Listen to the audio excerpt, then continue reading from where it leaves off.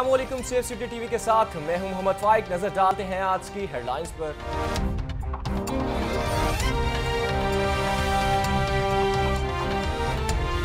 Central police office اور پنجاب کے مختلف تھانوں میں ناکارہ سامان کی نیلامی۔ نیلامی سے سرکاری خزانے میں پچیس کروڑ روپے جمع۔ وزیر پنجاب سردار عثمان بزار کا کہنا ہے کہ ناکارہ سامان کی نیلامی کا عمل مزید تیز کیا جائے۔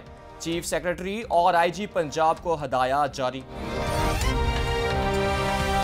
پاکستان اور بنگلہ دیش کے مبین ٹی ٹوینٹی سیریز کا پرامن انعقاد۔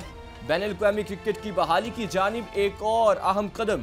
سیف سٹیز اتھارٹی اور قانون نافذ کرنے والے اداروں کی جانب سے بہترین سیکیورٹی انتظامات۔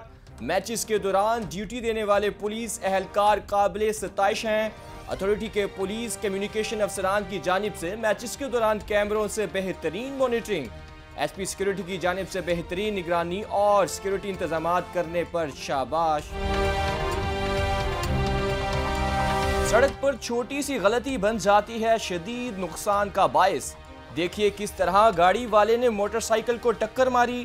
ٹریفک سگنل کو نظر انداز کرنے اور سڑک پر لین لائن اور حد رفتار کا خیال نہ کرنے سے قیمتی جان لگ جاتی ہے داؤ پر۔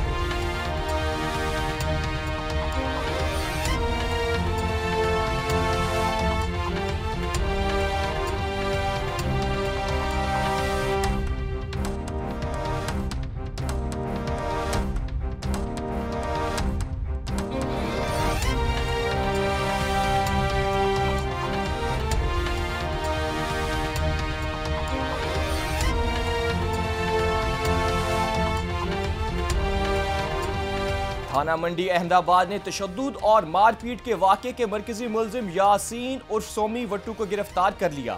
ملزم نے اپنے خلاف درخواست دینے پر ساتھیوں سے مل کر مدعی خرم شہزاد پر تشدد کیا تھا۔ واقعے کے ملزمان کے خلاف قانونی کاروائی عمل میں لائی جا رہی ہے۔ بہاولپور تھانہ سما سٹا پولیس کی بڑی کاروائی۔ شراب فروش گرفتار، شراب برآمد مقدمہ درج۔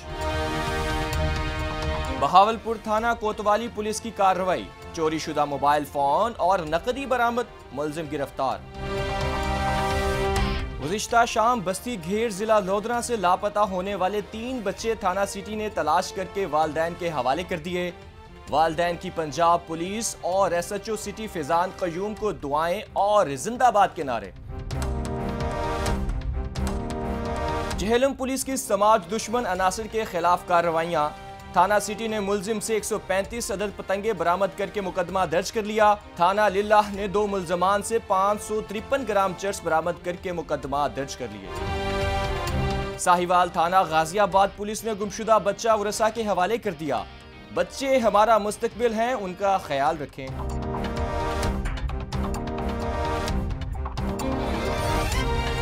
یہ تھی اب تک کی خبریں، مزید اپڈیٹس اور خبروں کے لیے وزٹ کیجیے ہماری ویب سائٹ www.psa.tv